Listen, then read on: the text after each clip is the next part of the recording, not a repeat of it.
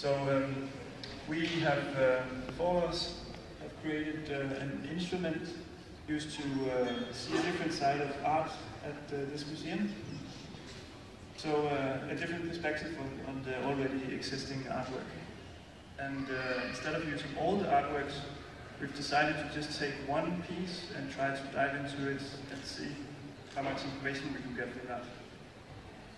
So we can go to the next So um, we use this iPad and you can see through it and it registers the, uh, the painting and then we can overlay graphics. Um, and we are working with these two different layers. One is where you can uh, see different sides of the image uh, with different layers, and the other one is a contextual uh, view. With this contextual one, you see from the side or from uh, when you're far away. So when you're far away from the painting, you see the context. And when you go close, then you see the detail of the image. And the idea is that this interface is supposed to be non-intrusive, so you can just put it down if you don't want all that interface stuff and just look at the art. And you don't know, you don't need any extra tags or anything in the building. Uh, it just works as an application. Um, so you can start this. So artwork is often um, imaged using different wavelengths of light in museums to give more information about the painting. This is always hidden to the viewer. There's many layers which are invisible to the human eye, such as an IR layer. And in infrared, you can see pencil sketches which are actually hidden by the paint. And we wanted to overlay this so we can basically swipe in between the original painting and the IR layer just by pinching as you can see up there.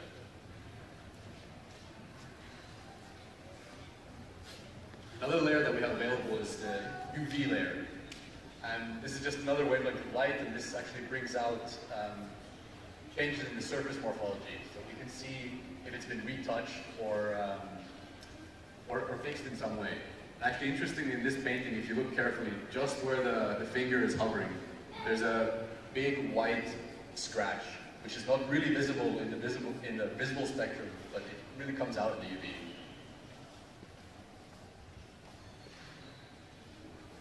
And then this painting is actually even imaged using X-rays. Um, here, the interface is the same, but in the X-rays we actually see, we see through the painting and the canvas and the support behind. We can also see uh, heading pigments in the paint coming out, but you can kind of make out some white areas in between the wooden structure.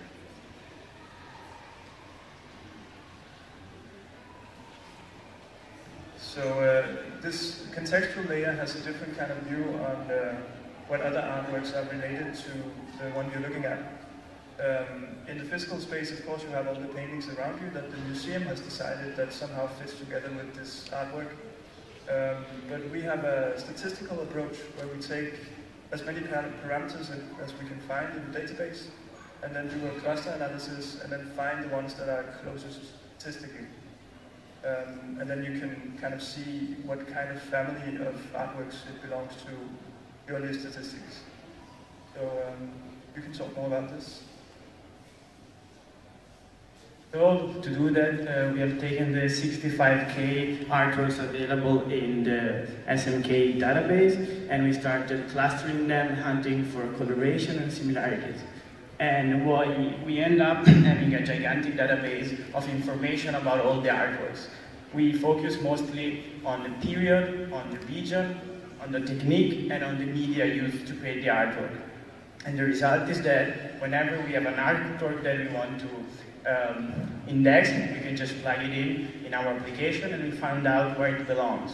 And when we know where it belongs, we can actually suggest you uh, what to watch next based on how it correlates with the database we have built. And this is some kind of information that goes in the direction of making you explore the museum in the way you want to depending on if you like the picture you are seeing or not. But we have done more, and Henry will talk about it. So, seeing that we've already shown you how the image looks in UV, invisible, and in infrared, we wanted to kind of collect this information into, uh, into one, one space. And the scientific way to do this is to kind of combine them in a spectrogram, which is what you see at the top. So this color bar is roughly the visible region, and the bumps you see on the left-hand side and the right-hand side are the spectral fingerprints in the UV and the IR. And then we wanted to use this as a, um, as a tool to further um, compare different paintings. So not just doing this finding a spectrogram, we also wanted to compare the color palettes of different paintings. So this uh, bar chart you see just there, that's kind of the, the, the height of the bar represents the dominance of a color in our chosen painting. Using both the spectroscopic uh, fingerprint and this color map, we wanted to kind of look at the whole database and see if we could find uh, images of similar colors, and also had this uh, similar in terms of the spectrogram.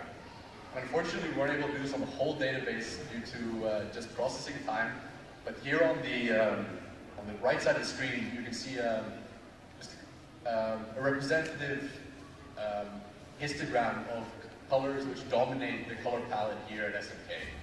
You can see the dominance of uh, beige and, and brown and gray, and then some highlight colors coming out. I think that's us.